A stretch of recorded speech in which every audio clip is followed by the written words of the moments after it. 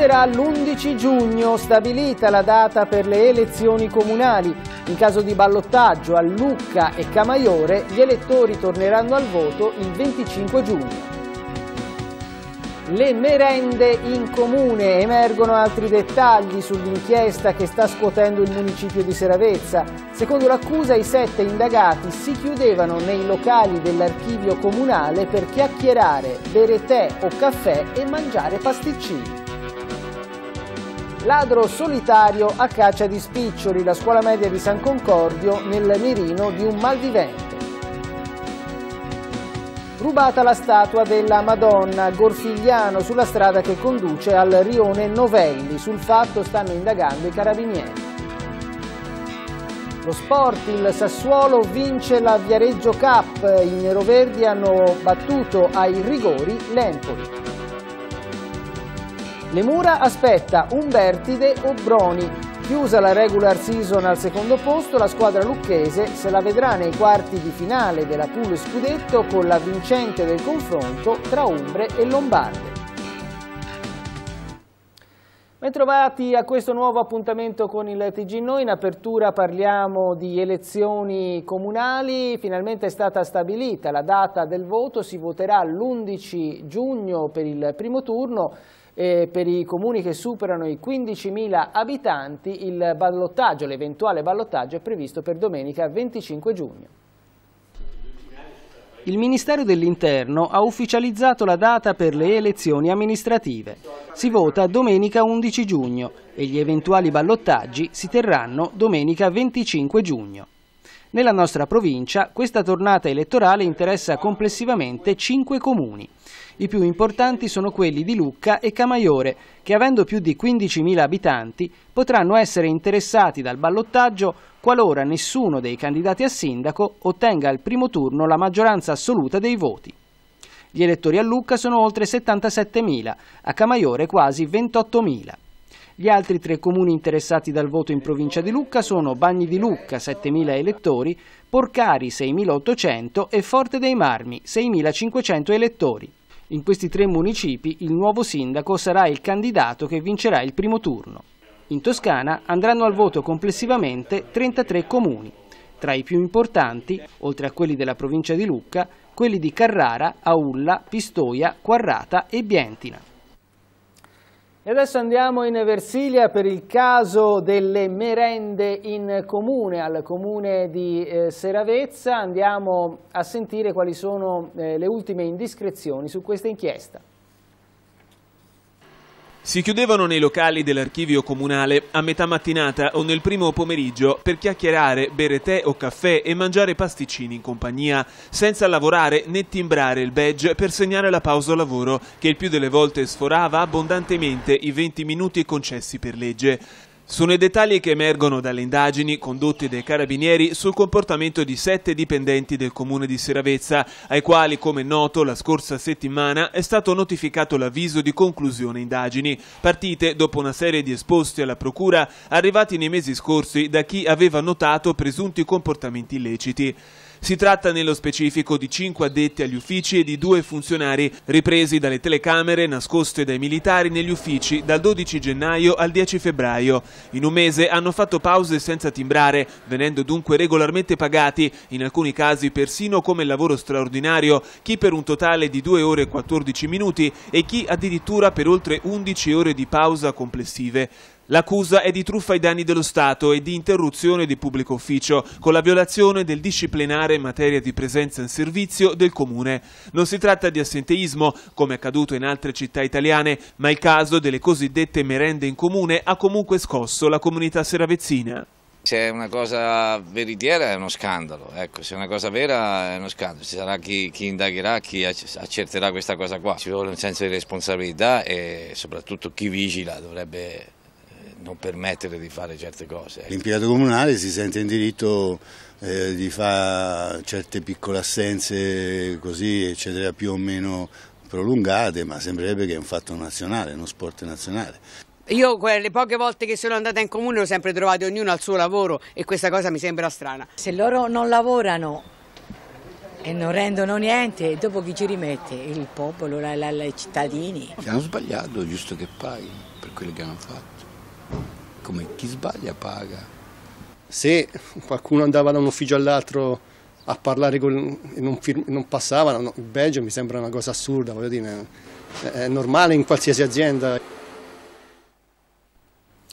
Apriamo la pagina dedicata al lavoro, c'è stato un incontro in regione dedicato alla questione della SNAI, erano presenti eh, tra gli altri il consigliere per, eh, del presidente regionale Rossi per il lavoro Gianfranco Simoncini, il sindaco di Porcari Vaccini e i sindacati. Eh, giovedì, sempre in Regione, è in programma un altro incontro al quale parteciperà anche l'azienda SNAI e all'ordine del giorno ci saranno i chiarimenti delle motivazioni che hanno spinto l'azienda alla procedura di mobilità e la richiesta di ammortizzatori sociali per gli esuberi. Ancora il lavoro però andiamo a Fornaci di Barga, eh, sono state organizzate una serie di assemblee tra sindacati e lavoratori sulla questione della KME. Sindacati e lavoratori a confronto nelle assemblee svoltesi martedì presso lo stabilimento di Fornaci di Barga di KME. Gli incontri sono serviti a fare il punto della situazione sull'andamento dello stabilimento nei primi tre mesi del 2017 e sulla prosecuzione dell'accordo sindacate-azienda sottoscritto a giugno 2016.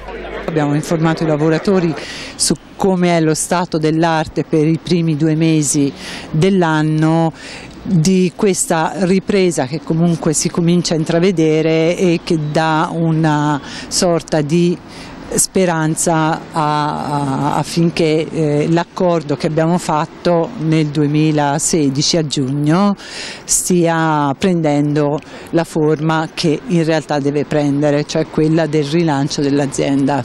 Uno dei problemi emersi oggi è quello della mancanza di materia prima. Sì, questa è sicuramente una delle cose che ci preoccupa di più, perché in un mercato che comunque è in difficoltà sembrerebbe che gli ordini ci potessero anche essere, che era poi uno degli obiettivi del nuovo amministratore delegato, portare nuovi ordini.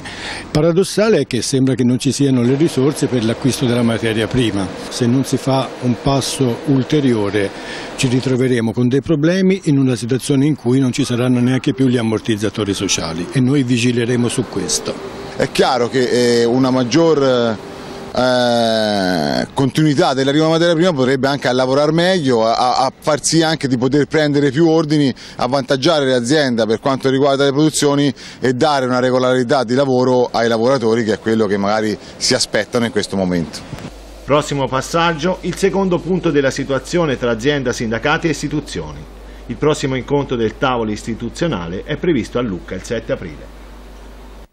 Andiamo alla cronaca, a San Concordio un ladro ha fatto eh, irruzione nella notte alla scuola media, vediamo. Ha rubato solo i soldi contenuti nelle macchinette delle bevande senza toccare computer e tablet presenti nelle stanze. Non ha preso nemmeno gli spiccioli contenuti in una bottiglietta. È stato davvero un furto atipico quello messo a segno martedì notte ai danni della scuola media di San Concordio a Lucca. Le telecamere di videosorveglianza hanno ripreso un solo uomo che dopo aver forzato la finestra della stanza dei professori si è introdotto all'interno della scuola ed è andato dritto alle due macchinette che distribuiscono le bevande. Una l'ha forzata con facilità, l'altra ha dovuto semidistruggerla per impossessarsi dei soldi contenuti all'interno. Pochi spiccioli, dicono dalla scuola, perché erano state svuotate da pochi giorni. La cosa strana è che il ladro non si è accorto oppure non ha voluto volontariamente impossessarsi delle altre cose di valore presenti nelle due stanze. I computer, un tablet in ricarica e anche alcune decine di euro contenute in una bottiglietta posizionata proprio sopra uno dei distributori. I rilievi di quanto accaduto e le indagini sono affidate alla polizia. L'episodio riporta alla luce i problemi di sicurezza in questa zona. Alcune settimane fa una siringa era stata rinvenuta nel giardino della scuola elementare. I genitori delle centinaia di bambini e ragazzi che frequentano i vari istituti scolastici, dalla scuola dell'infanzia alle medie, chiedono più controlli nelle ore serali. E adesso ci spostiamo in Alta Garfagnana per il furto di una statuetta raffigurante la Madonna.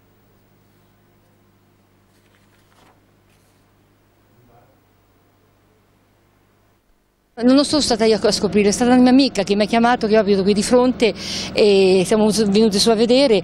E, piangevo, piangevo perché per me la Madonnina è tutto, ero io che la guardavo, che gli portavo il fiore, con la mia nipotina ci veniva a far pregare, tutti i giorni eravamo sempre qui.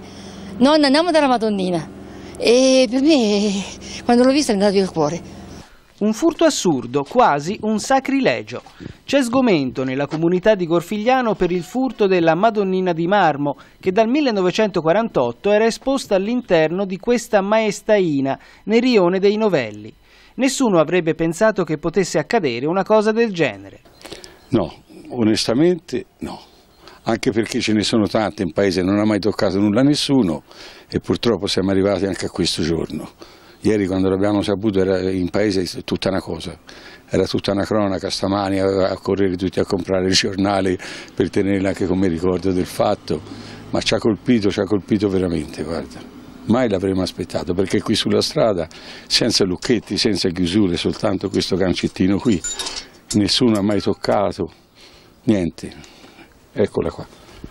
Fu messa l'8 maggio del 48, dalla famiglia Valdacci che abitava in questi due fabbricati alle nostre spalle, una famiglia anche, anche benestante, ecco perché a, a, quel tempo si permise di fare anche questo lavoro, sarà costato poco ma tutti non se lo potevano permettere e mise a protezione dei suoi beni, aveva la bottega alimentari e tabacchi molto frequentata del resto, specialmente da questa parte del paese. In questa zona ogni famiglia vuole la sua protezione, per cui basta girarsi intorno che si trovano simboli religiosi ovunque e mai era accaduto un fatto di questa gravità.